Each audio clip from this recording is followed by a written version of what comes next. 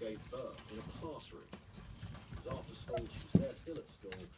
Labour happened, contractions happened, she that birth in the classroom. There was much headline and debate about in a classroom people were doing Foley, giving birth in a strange place. Not a mention of the fact she was 15.